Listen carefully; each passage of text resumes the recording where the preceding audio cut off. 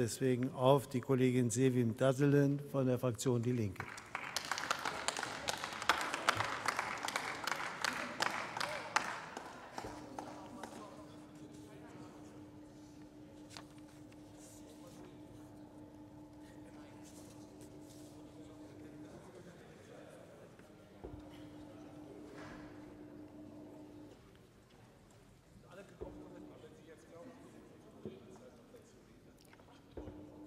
Verehrter Herr Präsident, meine sehr verehrten Damen und Herren! Es ist kein Zufall, dass das Hohe Haus ein so bedeutendes und bedeutsames Thema wie die europäische Außen- und Sicherheitspolitik wieder einmal im Schutz der Dunkelheit behandelt.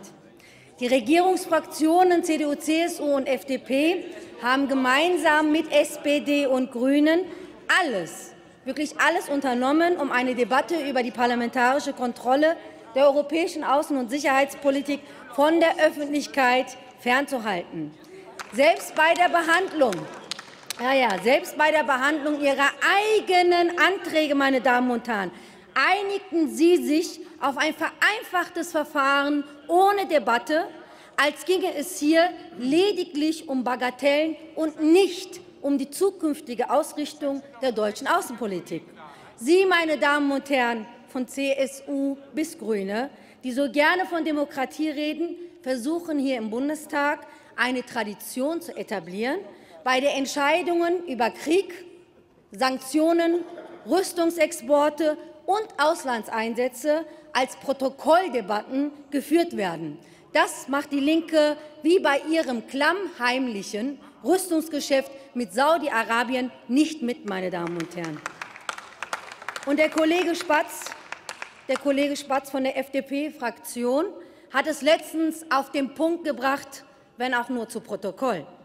Es gehe, so meinte er in seiner Protokollrede, ich zitiere, letztlich doch um die Perzeption elementarer Sicherheitsbedürfnisse, bei der die Bevölkerung mitgenommen werden, Zitat Ende, soll. Ja, es gehört eben leider doch zu einer Unsitte der deutschen Außenpolitik von Joschka Fischer, bis Guido Westerwelle, dass das Schüren von Ängsten und Bedrohungsszenarien auch die Rechtfertigung eben einer kriegerischen Außenpolitik herstellen soll.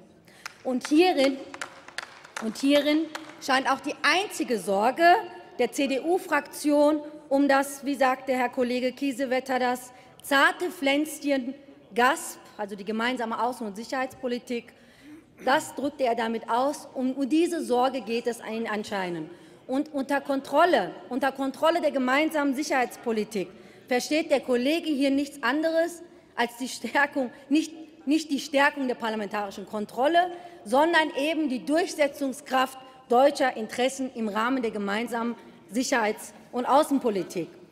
Meine Damen und Herren, im Vertrag von Lissabon werden, werden den nationalstaatlichen Parlamenten wie auch dem Europäischen Parlament parlamentarische Kontrollrechte in der EU-Außenpolitik schlicht verweigert. Und das wissen Sie ganz genau. Und solange dieses Demokratiedefizit in den europäischen Verträgen selbst nicht beseitigt wird, fordern wir, die Linke, die Gründung einer interparlamentarischen Versammlung zur Kontrolle der GASP und auch der GSVP. Allerdings, allerdings nur dann, wenn damit eine wirksame und umfassende parlamentarische Kontrolle auch gewährleistet wird. Und dazu gehört für uns gerade auch ein Ablehnungs- bzw. ein Zustimmungsrecht zu allen Maßnahmen der gemeinsamen Außen- und Sicherheitspolitik, zu allen Missionen sowie der Verhängung von Zwangsmaßnahmen sowie Sanktionen.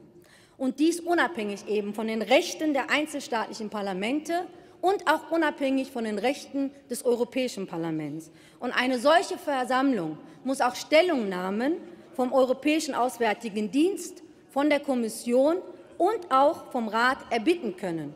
Für uns ist auch weiterhin zentral, dass die Vertretung für kleinere Fraktionen sichergestellt werden muss in dieser Versammlung.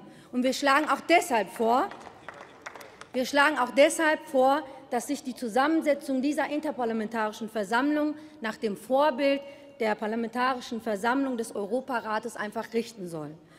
Und wieder einmal, wenn ich zum Schluss kommen darf, wieder einmal will die Linke eine echte parlamentarische Kontrolle alleine und sie steht damit leider im Gegensatz zu allen anderen Fraktionen, die es vorziehen, mit Placebos hier zu arbeiten. Ich bitte Sie deshalb um die Zustimmung für unseren Antrag, weil auch Sie als Parlamentarierinnen und Parlamentarier sich nicht weiter entmachten sollten. Die Entscheidung über Krieg und Frieden wie auch die Entscheidung über Panzerlieferungen nach Saudi-Arabien darf, meine Damen und Herren, darf keine Entscheidung einer Geheim, einer, eines geheimen Kabinetts mehr sein. Vielen Dank.